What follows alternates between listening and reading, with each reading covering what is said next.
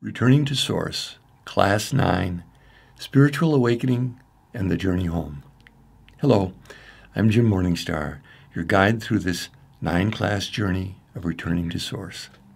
The ninth in our series is entitled Spiritual Awakening and the Journey Home. We will be informing our journey beyond this series with the time honored stages of enlightenment from the Zen tradition. The Buddhist teaching of Zen ox herding. Returning to source is not a concept new to our course. Indeed, it's our contemporary version of a journey undertaken by humans from time immemorial. It will help us put our personal journey in context by showing the parallels to one of the venerable traditions of our world cultures, which has preserved its version of this journey in written and oral forms.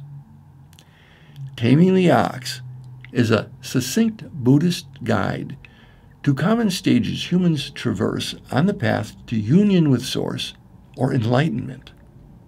It surveys 10 stages of enlightenment as it unfolds in a human life. In this teaching, the ox is a symbol for enlightenment, the goal of Buddhist studies. It's believed that the ox symbol was chosen due to East Indians' reverence for cows, which are considered sacred. The framework for this account is from the blog Buddha Groove. What is enlightenment?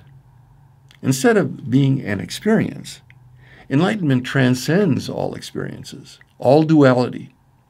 Enlightenment is the full, embodied, and abiding realization that while the forms of this world are ever changing, something lasting and infinite persists, uniting everything. Separation is seen as an illusion. All forms have this Buddha nature, arising and returning to it, never apart from it. The enlightened person is perpetually in touch with this eternal source. The journey towards enlightenment begins by seeing the world as mundane, and made up of separate forms. It culminates with the realization that nothing is mundane or separate. All is unified oneness. It is said that each of the ten phases of Zen ox herding can take years or lifetimes, but in rare cases, minutes, hours, or days. Stage 1 Seeking the Ox. All people are already seeking the ox, that is, searching for fulfillment and happiness in their work, relationships, and other worldly pursuits. This is the inalienable right to the pursuit of happiness as stated in the U.S. Constitution. It is this inner drive which leads us up the pyramid of happiness to find meaning and purpose in our lives. It's the impetus which leads us home.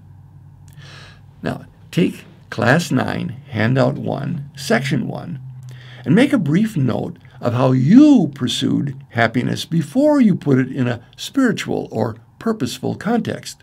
Then come back to the video. Finding the tracks. In this phase, phase 2, the insight dawns that all worldly forms come and go, leaving just fleeting satisfaction. Something more lasting is sought. When we've satiated ourselves relentlessly on the first level of the pyramid of happiness with sensual pleasures, or even when we have devoted ourselves to employing our signature strengths to get satisfaction, we realize that all forms which deliver this happiness come and go, leaving an empty feeling. Now take Class 9, Handout 1, Section 2, and make a brief note of when you became aware of the futile nature of continuous pleasure seeking and that you were interested in something beyond this. Then come back to the video. Stage 3 First Glimpse of the Ox.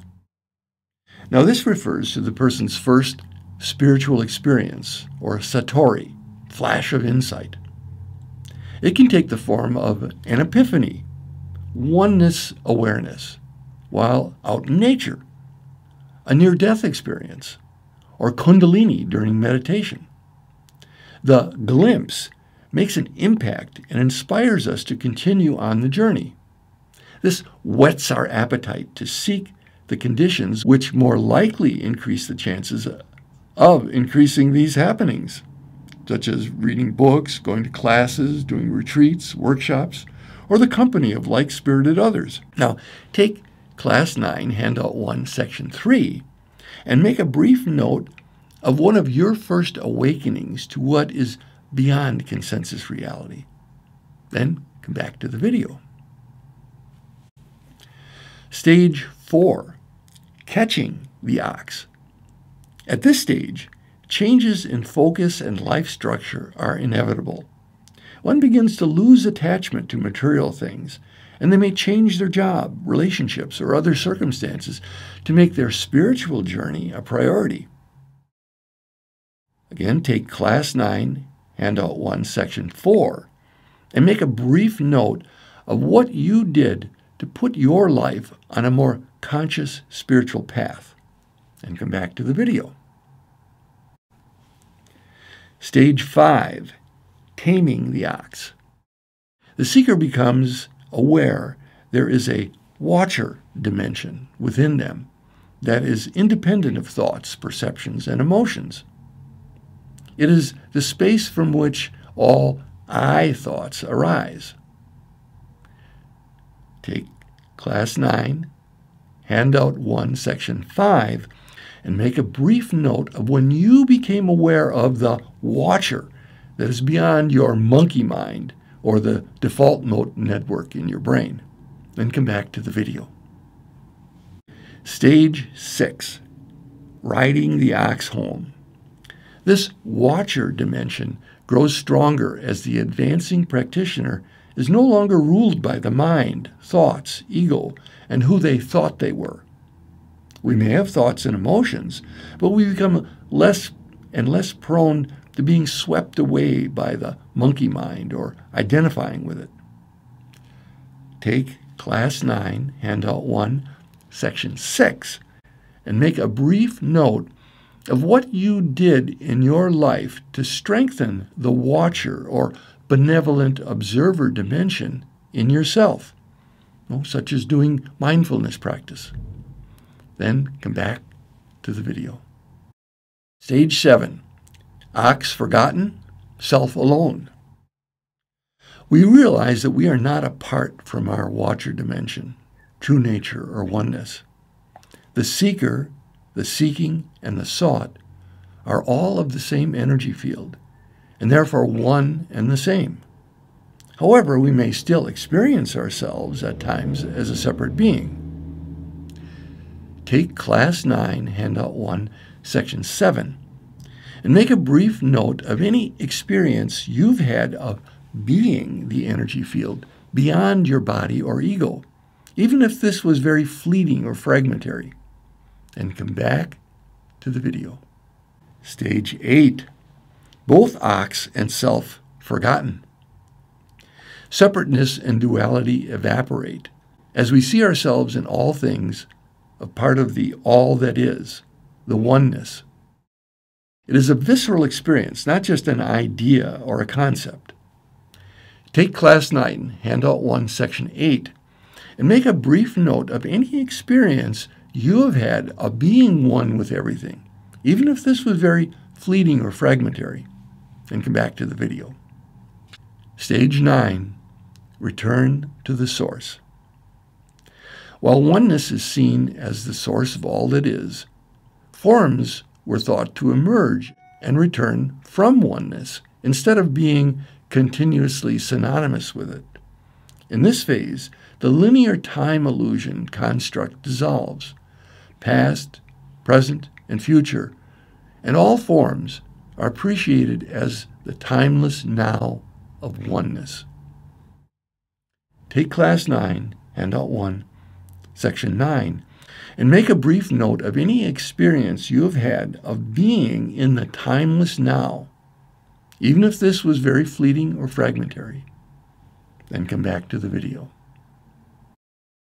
Stage 10 entering the marketplace with helping hands. The enlightened person is now the embodiment of awakened consciousness and returns to the quotes mundane life, knowing that nothing is mundane. All is oneness at all points in time and space.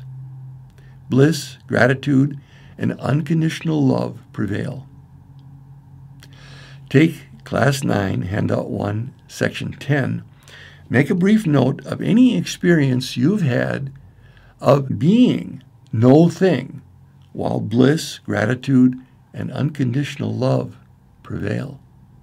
Even if this was very fleeting or fragmentary, then come back to the video. The Buddhist teaching of enlightenment overlaps with Christianity in that both emphasize being in the world but not of the world. After enlightenment, the forms of the world are appreciated with no attachment or aversion. Love and deep compassion reign. And while samsara, reincarnation, ends, many choose to help others become enlightened, the bodhisattva path. Now, finally, take Class 9, Handout 1, Section 11, and make a brief note of how you have been dedicated in your life yin supporting others in their returning to Source or enlightenment, even if you haven't fully realized how you've been doing this until just now. Then come back to the video. The in perspective is that we are all already enlightened and can be nothing but enlightened and one with the source. The yang perspective is that we have forgotten our heritage and must take steps to return to the awareness of our oneness with Source and behaving and creating our lives accordingly. The whole person is a healthy balance of yin and yang. We meditate or contemplate and experience our oneness, and we set goals to work and bring our lives into alignment with truth, simplicity, and love. Holding you in my heart as fellow travelers on the road home, I send and receive blessings for our circle and all sentient beings as we co create the reality of love as all there is and earth as heaven is. Blessings in light and love.